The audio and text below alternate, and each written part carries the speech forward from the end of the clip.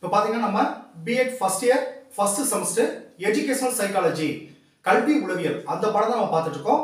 அந்த பாடத்தில் நம்ம யூனிட் டூ பார்த்துட்டு இருக்கோம். சரிங்களா? நான் யூனிட் டூவில் இதுக்கு முன்னாடி நடத்துகிற கொஸ்டின் எல்லாமே நான் டிஸ்கிரிப்ஷன் கீழே லிங்க்ல கொடுத்துருக்கேன். அந்த கிளாஸ் வீடியோ லிங்க்ல கொடுத்துருக்கேன். ஸோ புதுசாக பார்க்குறவங்க அந்த கிளாஸும் நீங்கள் பார்த்துக்கலாம். சரிங்களா? நான் இன்னும் நம்ம கிளாஸ்ல எப்படி நீங்கள் ஜாயின் பண்ணணும் உங்களுக்கு எப்படி பிடிஎஃப் வரும்னு சொல்லி நான் இன்னும் அந்த வீடியோ போடல. நான் அடுத்த மாதம் தான் நான் B Ed first year first semester நம்ம கிளாஸில் ஜாயின் பண்ண சொல்லி நான் வீடியோ போடுவேன். அதுக்கு பிறகு நம்ம கிளாஸில் நீங்கள் ஜாயின் பண்ணிக்கலாம். நீங்கள் கிளாஸில் ஜாயின் பண்ண பிறகு உங்கள் BEd first year first semester அந்த சப்ஜெக்ட்டுக்கான எல்லா கொஷின் வந்து நான் உங்களுக்கு பிடிஎஃப் அனுப்பிச்சிடுவேன். ஒவ்வொரு வாரமும் ஒரு சப்ஜெக்ட் இருக்கும். அந்த சப்ஜெக்டோட பிடிஎஃப் உங்களுக்கு நான் வாட்ஸ்அப் நம்பருக்கு அனுப்பிச்சிடுவேன். கிளாஸ் வந்து நான் யூடியூப்ல போட்டுருவேன். நீங்கள் கிளாஸ் அதை பார்த்துக்கலாம் சரிங்களா? ஸோ நெக்ஸ்ட் மந்த்ல தான் நான் உங்களுக்கு அந்த கிளாஸ் ஜாயின் பண்ண சொல்லி வீடியோ போடுவேன் அதுக்கு பிறகு நம்ம கிளாஸில் நீங்கள் ஜாயின் பண்ணிக்கலாம். ஓகே இப்போ நம்ம யூனிட் டூவில் என்ன கொஸ்டின் நம்ம பார்த்துக்கோம்னா கவனித்தலை தீர்மானிக்கும் காரணிகள். இந்த கொஸ்டின் தான் பார்த்துக்கோ இது முக்கியமான கொஸ்டின் டென் மார்க் கொஸ்டின் இந்த கவனத்தை தீர்மானிக்கும் காரணிகள்ல அகக்காரணிகள் புறக்காரணிகள். ரெண்டு காரணிகள் இருக்குன்னு நான் சொல்லியிருந்தேன். இப்போ ஆல்ரெடி நம்ம வந்து லாஸ்ட் கிளாஸ்ல அகக்காரணிகள் என்னன்னு பார்த்தாச்சு புறக்காரணிகள் என்னன்னு பார்த்தாச்சு. இன்னைக்கு நம்ம கிளாஸ்ல நம்ம என்ன பார்க்க போறோம் அப்படி பார்த்தீங்கன்னா ஆக்சுவலா பாருங்க புறக்காரணிகள்ல எட்டு பாயிண்ட் இருக்கு. அதாவது ஒன்று உருவளவு ரெண்டு அடர்த்தி மூணு மாற்றம் நாலு வேறுபாடு அஞ்சு புதுமை ஆறு இயக்கம் ஏழு திரும்ப திரும்ப தோன்றல் எட்டு முழுமை பெற்ற உருவம். இந்த எட்டு பாயிண்ட் பத்தி தான் நான் உங்களுக்கு இன்னைக்கு நான் கிளாஸ் எடுக்க போறோம். இப்போ பாத்தீங்கன்னா கவனத்தை தீர்மானிக்கிறதுல அதாவது நம்முடைய கவனம் வந்து எதோ ஒரு ஒரு பொருள் மேலேயோ இல்லை ஒரு ஒரு ஒரு செயல் மேலேயோ நம்ம கவனம் வந்து அதில் போகுது. அதுக்கு என்னென்னலாம் காரணிகளால் இருக்க முடியும் அப்படின்றது தான் இந்த கேள்வி. ஸோ இப்போ உங்களுக்கு நோட்ஸ் வரும். நான் எக்ஸ்பிளைன் பண்ணுவேன். நீங்கள் இந்த கிளாஸை ஒன் டைம் கவனிச்சிட்டா போதும். நீங்கள் ஓனா கூட எக்ஸாம் எழுதிக்கலாம்.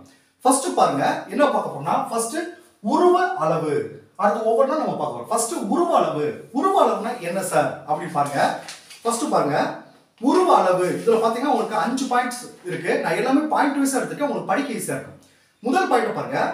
உருவில் பெரிய அளவுள்ள பொருட்கள் மற்றவற்றை விட பளிச்சென நம்ம கவனத்தை கவர்கின்றன. அதை சொல்றேன். இப்போ ரோட்ல போறோம்.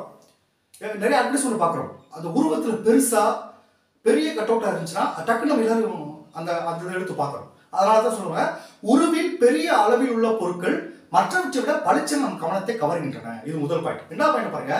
செய்தித்தாள்களில் வரும் விளம்பரங்களில் முழு பக்க அளவிலான ஒரு விளம்பரம். அளவில் சிறிய கால்பக்க அளவில் அளவுள்ள விளம்பரத்தை காட்டிலும் வெகுவாக நம் கவனத்தை கவர்கிறது.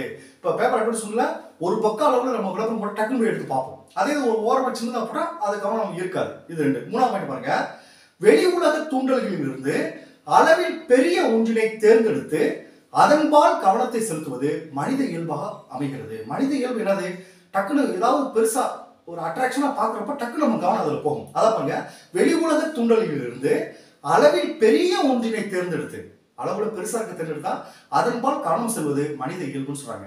அப்ப இது என்ன சொல்றாங்கன்னா ஸோ உடனே இந்த கவனம்ன்றது அப்ப ஆசிரியர் வந்து இந்த கவனத்தை இந்த இந்த உருவ அளவு அந்த ஆசிரியர் எப்படி கிளாஸ்ல கையாளணும்? அதான் கடைசி பயப்படுங்க எனவே வகுப்பறை கற்பித்தலின் போது மாணவர்களின் கவனத்தை எளிதில் கவரும் வகையில் பெரிய அளவிலான படங்கள் போஸ்டர்கள் ஆகியவற்றை பயன்படுத்த வேண்டும். அப்படி பார்க்குறப்ப மாணவர்கள் வந்து அதை டக்குன்னு அந்த கவனத்தை கவனம் அந்த பாடத்தை போல செலுத்தி அதை என்ன கண்டென்ட்னு சொல்லி பார்ப்பாங்க. ரெண்டாவது பாருங்க செறிவு அல்லது அடர்த்தி. இதில் இதுல பாருங்க இதுல நான் பாயிண்ட் ஒன்று பாருங்க. உருவத்தை பொறுத்த மட்டில் அளவு அமைவது போல் பொருள்களின் தன்மை அல்லது பண்பை பொறுத்தளவில் அப்பண்பின் செறிவு அமைகிறது. அதான் சார் செறிவு அப்படின்னா அடுத்த பாயிண்ட் பாருங்க உங்களுக்கு தெரியும். செறிவு மிக்க பண்புடைய பொருள் நம் கவனத்தை வெகு எளிதில் இருக்கும் அந்த பண்புனா என்ன சார்? வைக்க கொடுத்துருங்க பெருத்த ஓசை செறிவுமிக்க வண்ணங்கள் தீவிரமான மனம். அதான் கிளாஸ்ல பயன்படுத்தும் கிளாஸ்ல வந்து ஒரு வகுப்பாசிரியர் பாடம் நடத்துறப்ப குரல்கள்ல ஏற்றத்தாழ்வோடு நடத்தணும்னு சொல்றாங்க. முக்கியமான கண்டனுக்கு கொஞ்சம் குரலை ஏற்றி பேசினா டக்குன்னு மாணவர்கள் கவனிப்பாங்க. எதுக்கு முக்கிய அழுத்தமா குரலை கொடுத்துருப்பாங்கன்னா மாணவர்கள் கவனிப்பாங்க. ரெண்டாவது அந்த வண்ணங்கள் படங்கள்லாம் பார்க்குறாங்க அதாவது கலராக நம்ம காமிக்கிறப்ப மாணவர்கள் கவனத்தை இருக்குன்னு சொல்றாங்க. அதான் பாருங்க பெருத்த ஓசை செறிவுமிக்க வண்ணங்கள் தீவிரமான மனம் போன்றவற்றை நம் கவனத்தை இருப்பதில் வெற்றி பெறுகின்றன. இதுதான் செறிவு அழுத்தம். அது மூணாவது பாருங்க மாற்றம். அது என்ன சார்? மாற்றம். முதல் பாயிண்ட் பாருங்க வெளி உலகில் அடுத்து வரும் தூண்டல்களில் திடீரென திடீரென மாற்றங்கள் நம் கவனத்தை ஈர்க்கிறது. ரெண்டாவது பாயிண்ட் பாருங்க. அறையில் சுற்றி கொண்டிருக்கும் மின்விசிறியை கவனிக்காத நாம் திடீரென மின்விசிறியின் இயக்கம் நின்று போனால் உடனே மின்விசிறின்பால் நம்ம கவனம் செல்கிறது. பாத்தீங்களா? ஒரு அறையில இருக்கோம். மின்விசிறி ஓடிட்டு நம்ம நம்ம வேலையை பார்த்துட்டு இருப்போம். டக்குனு மின்விசிறி நின்றுச்சுன்னா கரண்ட் பிடிச்சா அப்படின்னு சொல்லி மின்விசிறியை பார்ப்போம். அப்ப திடீர்னு ஒரு மாற்றம் நிகழ்றப்ப கவனம் வந்து டக்குனு அதுல காட்டுறோம். அப்ப வகுப்பறையில இது என்ன செய்யலாம்? அதான் பாருங்க. வகுப்பறையில் கண்ணயரும் மாணவன் திடீரென்று நிசப்தம் தோன்றும் போது என்னவோ ஏதோ என்று நினைத்து கண்விழித்துக் கொள்கிறான்.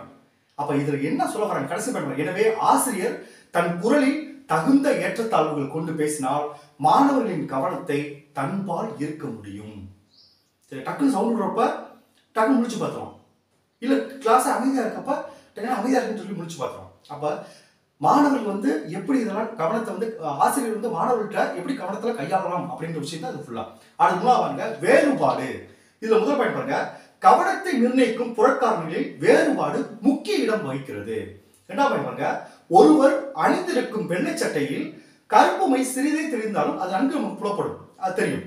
அதாவது கரும்பலகையில் வெள்ளை வண்ண சுண்ணா சுண்ணக்கட்டியால் எழுதுவதற்கு காரணம் வேறுபாடு மூலம் கவனத்தை இருப்பதே இப்ப பிளாக் போர்ட்ல ஏன் ஒயிட் வச்சிருந்தா டக்குனு அவன் கவனத்தை ஈர்க்கும் அப்படின்ற காலத்தை அப்ப விளக்க உரை அளித்தல் படம் வரைதல் கேள்வி கேட்டல் போன்ற கற்பித்தல் செயல்பாடுகளை வகுப்பறை கருத்தில் பயன்படுத்தும் போது மாணவர்களின் கவனம் தானாகவே வகுப்பறையில் ஒன்றி போகிறது. இதுதான் வேறுபாடு. அடுத்து புதுமை பாருங்க. எந்த ஒரு விஷயம் புதுமை அப்படின்னா டக்குனு அது கவனம் நமக்கு ஏற்படும். அப்ப வகுப்ப வகுப்பறையில கிளாஸ் இருக்க ஆசிரியர் புதுமையான விஷயங்களை பயன்படுத்தினா மாணவர்கள் கவனத்தை ஈர்க்க முடியும் சொல்றாங்க. அதை முதல் பயன்படுங்க ஒரு பொருளை புதுமையாக தோன்ற செய்தால் அது எல்லாருடைய கவனத்தையும் ஈர்க்கும். எடுத்துக்காட்டு பாருங்க. லாரிகளின் பின் பொதுவாக எழுதப்பட்டிருக்கும் ஒளி எழுப்புக என்பதற்கு பதில். ஒளி எழுப்புங்க எல்லா லாரியில இருக்கும். அது பத்து ரூபாய் விட்டுருவோம் அதே இது பாருங்க. ஒளி எனக்கு வழி உனக்கு என்று எழுதினால் நிச்சயம் கவனத்தை ஈர்க்க முடியும். எத்தனையோ ஆட்டங்களை பயன்படுத்த பார்ப்போம். ஏதாவது ஒரு வாசகம் இருந்துச்சா டக்கு நம்ம அது கவனத்தை ஈர்ப்போம். அப்ப கிளாஸ்ல ஆசிரியர் அப்படி முக்கியமான விஷயத்தெல்லாம் ஹைலைட் பண்ணி காட்டி புதுமையா நான் மாணவர்கள் கவனத்தை ஏற்க முடியும் சொல்றாங்க அதே போல அதை கடைசி பாட்டு சொல்றாங்க.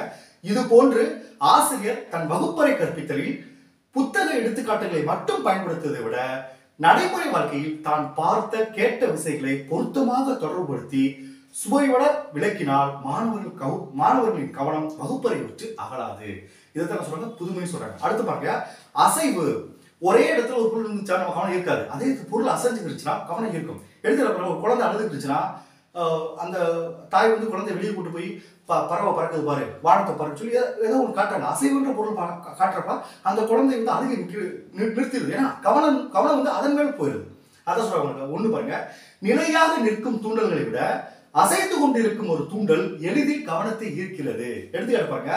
அழும் குழந்தையின் கவனத்தை திசை திருப்ப தாய் அசையும் பொருட்கான பறக்கும் பறவை நகர்ந்து செல்லும் வாகனங்கள் ஆகியவற்றை சுட்டி காட்டுகிறார் அப்ப வகுப்பறை என்ன செய்யணும் ஆசிரியர் அங்கும் இங்கும் நகர்ந்து சைகைகளை பயன்படுத்தியும் கற்பித்தலும் போது மாணவர்கள் கவனத்தை தன்பால் நிலைநிறுத்த முடியும். அப்படின்னு சொல்றாங்க. அடுத்து ஏழாவது பாருங்க. திரும்ப திரும்ப தோன்றல். ஒரு முக்கியமான விஷயத்த ஒரு முக்கியமான கண்டென்ட் பாடத்துல மாணவர்களுக்கு திரும்ப திரும்ப சொல்றப்ப டக்குன்னு அவங்க மனசுல பதியும். டக்குன்னு சொல்லிட்டு அடுத்த கட்டத்துக்கு போகிறோமா முக்கியமான விஷயத்த அவங்க திரும்ப திரும்ப சொல்றப்ப மாணவர்கள் கவனம் அது வரும் மனசுல நிற்கும் சொல்றாங்க. அவங்க முதல் பயன் பண்ணுங்க திரும்ப திரும்ப நமது புலன் உறுப்பினை தூண்டும் தூண்டும் தூண்டல் செறிவு குறைவானதாக இருந்தாலும் நம்ம கவனத்தை இருக்கும் அது வந்து நம்ம வண்ணங்களை காமிச்சு டிசைன் காமிச்சிடலாமா? திரும்ப திரும்ப சொன்னா கூட அவனுடைய கவனத்தை ஈர்க்கும் அப்படின்னு சொல்றாங்க. என்ன பண்ணி பாருங்க. தொலைக்காட்சி வானொலி வணிக விளம்பரங்கள் பலமுறை திரும்ப திரும்ப தோன்றுமாறு அமைந்திருப்பதற்கு இதுவே காரணம். அதை கடைசி பண்ணுங்க ஆசிரியர் முக்கியமான பாடக்குறிப்புகளை அல்லது முக்கிய கருத்துக்களை ஓரிரு முறை திரும்ப திரும்ப கூறும்போது மாணவர்களின் கவனத்தை ஈர்க்க முடியும். அப்படின்னு சொல்றாங்க. அடுத்த கடைசி பாயிண்ட் பாருங்க. முழுமை பெற்ற உருவம். அரைகுறையாக விடுபட்டு விடுபட்டு விடுபட்டு இருப்பவைகளை விட முழுமையடைந்த காட்சி கோலங்களை கவனத்தை ஈர்த்து மனதில் நிற்பவை. அரைகுறையாக ஒரு படத்தை விட்டு போனால் மனசு நிற்காது அது முழுசா முடிச்சு பணத்தை கவனத்தில் நிற்கும் சொல்றாங்க. ஸோ இதுதான் கவனத்தை தீர்மானிக்கும் காரணிகள் புறக்காரணிகள். நம்ம அடுத்த கிளாஸ்ல அகக்காரணிகள் அஞ்சு பாயிண்ட் இருக்கு. அதை அடுத்த கிளாஸ் ஓகே தேங்க்யூ ஸ்டூடெண்ட்ஸ்